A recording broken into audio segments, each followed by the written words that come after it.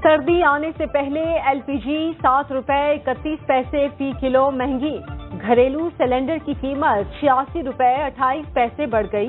ओगरा ने नई कीमतों का नोटिफिकेशन जारी कर दिया। पेट्रोल की कीमत में दो रुपए सात पैसे कमी, डीजल तीन रुपए चालीस पैसे फ़ी लीटर सस्ता। नई कीमतों का इतलाक रात 12 बजे से होगा। ओगरा ने वज़ीर आज़म की मंजूरी के बाद नई कीमतों का तयन किया।